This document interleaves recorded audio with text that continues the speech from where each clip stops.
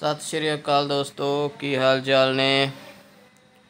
ਦੋਸਤੋ, ਜਦੋਂ ਦੇ ਸੀਐਮ ਸਾਹਿਬ, ਕੈਪਟਨ ਸਾਹਿਬ ਸਾਡੇ ਅਸਤੀਫਾ ਦੇ ਕੇ ਗਏ ਨੇ, ਉਸ ਤੋਂ ਬਾਅਦ ਬਹੁਤ ਸਾਰੇ ਕਮੈਂਟਸ ਆ ਰਹੇ ਨੇ, ਮੈਸੇਜ ਆ ਰਹੇ ਨੇ ਨਿੱਜੀ ਤੌਰ ਤੇ ਤੇ ਕਾਲਸ ਵੀ ਆ ਰਹੀਆਂ ਨੇ ਦੋਸਤਾਂ ਦੀਆਂ, ਸਾਡੇ ਸਾਥੀਆਂ ਦੀਆਂ।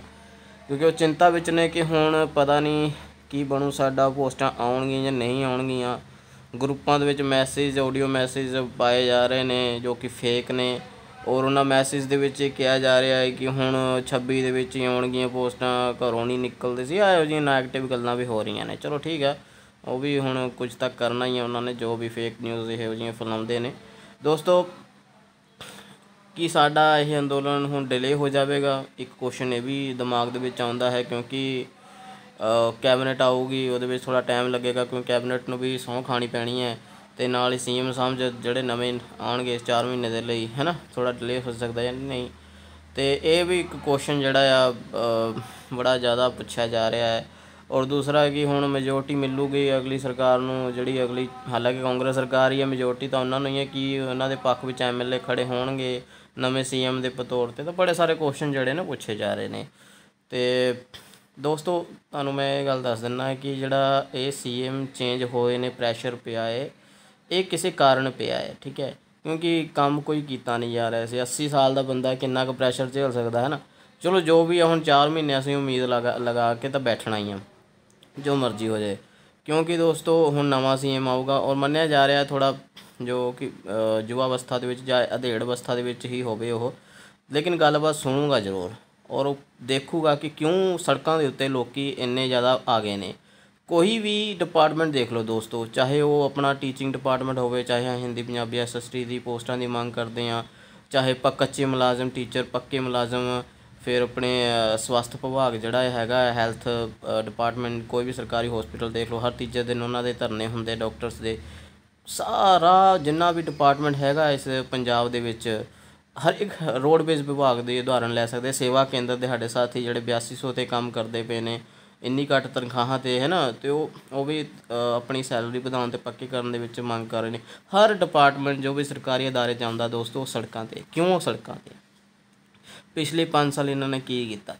ਅਗਰ ਕੈਪਟਨ ਸਾਹਿਬ ਗਿਆ ਤਾਂ ਮੈਂ ਤਾਂ ਕਹਿੰਦਾ ਕਿ ਚਲੋ, ਕੈਪਟਨ ਇੱਕ ਹੁੰਦਾ ਸੀ, ਹੋ ਗਿਆ। ਬੜਾ ਗੰਦ ਪਾਇਆ ਸੀ। ਸਾਡੇ ਪੈਸੇ ਦੇ ਜਿੰਨੇ ਤੁਸੀਂ ਟੈਕਸ ਪੇ ਕਰਦੇ ਹੋ, ਚਾਹੇ ਕੋਈ ਵੀ ਚੀਜ਼ ਲੈਂਦੇ ਹੋ ਤੇ ਟੈਕਸ ਦਿੰਦੇ ਹੋ ਦੋਸਤੋ। ਠੀਕ ਹੈ? ਤੇ ਉਹਦੇ ਤੋਂ ਤੁਸੀਂ ਇਹੋ ਜਿਹੇ ਬੋਰਡ ਲਾਉਂਦੇ ਹੋ, ਸੜਕਾਂ ਦੇ ਕੰਢੇ, ਕੈਪਟਨ ਇੱਕ ਹੀ ਹੁੰਦਾ ਹੈ, ਕੈਪਟਨ ਇੱਕ ਹੀ ਹੈ, ਇਹ ਅਹੰਕਾਰ ਬੋਲਦਾ ਇੰਨੇ ਲੋਕਾਂ ਨੂੰ ਨੌਕਰੀ ਦੇ ਦਿੱਤੀ। ਦੇ ਕਿੱਥੇ ਦਿੱਤੀ ਹੈ ਜੀ? ਕਿੱਥੇ ਦੇ ਦਿੱਤੀ ਹੈ? ਉਹ 5 5 6 6 ਹਜ਼ਾਰ ਤੇ ਤੁਸੀਂ ਰੋਜ਼ਗਾਰ ਮੇਲਾ ਖੋਲਦੇ ਹੋ ਕਿ ਆ 6000 ਦੀ ਨੌਕਰੀ ਲਈ ਕੰਪਨੀਆਂ ਆਉਂਦੀਆਂ ਨੇ, ਡਿਲੀਵਰੀ ਬॉय ਪੀਜ਼ਾ 버ਗਰ ਜੋ ਵੀ ਹੈ, ਉਹ ਥੋੜੀ ਲੈਣ ਬੈਠੇ ਹੋਣ, ਡਿਗਰੀਆਂ ਕਰਕੇ ਬੈਠੇ, ਤਾਂ ਕੋਈ ਚੱਜ ਦੀ ਨੌਕਰੀ ਦਿਓ ਵੀ ਰੋਜ਼ਗਾਰ ਦੇ ਸਾਧਨ ਉਤਪਨ ਕਰੋ ਕਿ ਬੰਦਾ ਜਾਂ ਤਾਂ ਖੁਦ ਨੌਕਰੀ ਦੇਣ ਨੂੰ ਹੋ ਜਾਵੇ, ਹੈ ਨਾ? ਉਹ ਤੁਸੀਂ ਦੇ ਗਏ ਨੇ ਰਾਜੀ। ਤੇ ਮਤਲਬ ਕਹਿਣ ਦਾ ਭਾਵ ਹੁਣ ਕਿ ਜੋ ਵੀ ਨਵੀਂ ਸਰਕਾਰ ਆਵੇਗੀ ਦੋਸਤੋ, ਉਹ ਕੁਝ ਚੰਗਾ ਹੀ ਕਰੇਗੀ। ਮਤਲਬ ਸਰਕਾਰ ਤਾਂ ਕਾਂਗਰਸ ਦੀ ਹੈ, ਪਤਾ ਹੀ ਤੁਹਾਨੂੰ ਕਿੰਨੀ ਕਿ ਚੰਗੀ ਹੈ। ਲੇਕਿਨ ਉਮੀਦ ਨਹੀਂ ਹਾਰਨੀ ਹੈ। ਕੁਝ ਲੋਕੀ 네ਗੇਟਿਵ ਗੱਲਾਂ ਕਰ ਰਹੇ ਨੇ। ਬਹੁਤ ਕੁਝ ਕਿ ਹੁਣ ਡਿਲੇ ਹੋ ਜਾਣਾ ਹੈ। ਕੁਝ ਨਹੀਂ ਹੋਣਾ ਦੋਸਤੋ। ਮਨੀਸ਼ ਫਜ਼ਲ ਕਾ ਸਾਡਾ ਸਾਥੀ ਉੱਪਰ ਹੀ ਹੈ ਨਾ, ਹੱਲੇ ਟੈਂਕੀ ਤੇ। ਕਿਤੇ ਗਿਆ ਤਾਂ ਨਹੀਂ ਨਾ ਉਹ। ਸਭ ਕੁਝ ਇੱਥੇ ਹੀ ਹੈ। ਇਹ ਅਗਲਾ 1 ਮਹੀਨਾ ਬਹੁਤ ਕ੍ਰੂਸ਼ਲ ਹੈ ਸਾਡੇ ਲਈ, ਬਹੁਤ ਕੁਝ ਕਰਨਾ ਹੈ, ਸਾਡੀ ਯੂਨੀਅਨ ਨੇ ਕਰਨਾ ਹੈ, ਸਾਥ ਤੁਸੀਂ ਦੇਣਾ ਫੰਡ ਵਗੈਰਾ ਜੋ ਵੀ ਹੁੰਦਾ ਹੈ, ਜਿੱਦਾਂ ਵੀ ਸਪੋਰਟ ਕਰਨੀ ਕਰੋ।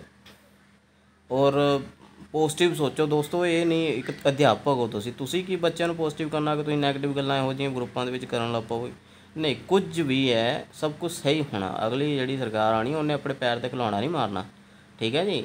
ਤੇ ਕੱਚੇ ਮੁਲਾਜ਼ਮ ਵੀ ਪੱਕੇ ਹੋਣਗੇ, ਸਾਰਾ ਕੁਝ ਹੋਊਗਾ, ਹੁਣ ਦੇਖਿਓ ਅਗਲੇ 4 ਮਹੀਨੇ ਦੇ ਵਿੱਚ। ਠੀਕ ਹੈ, ਇਹਦੇ ਲਈ ਹੌਸਲਾ ਚਾਹੀਦਾ ਹੈ। ਹੁਣ ਜੋ ਵੀ ਕੈਪਟਨ ਕਹੀ ਜਾਵੇ ਕਿ ਆ ਇਦਾਂ ਹੋ ਰਿਹਾ, ਮੈਨੂੰ ਹਟਾ ਦਿੱਤਾ, ਜੋ ਉਦੋਂ ਸਾਨੂੰ ਮਤਲਬ ਨਹੀਂ, ਹੁਣ ਜਿਹੜਾ ਨਵਾਂ ਸੀਐਮ ਆਗਾ ਸਾਨੂੰ ਉਸ ਤੋਂ ਮਤਲਬ ਆ।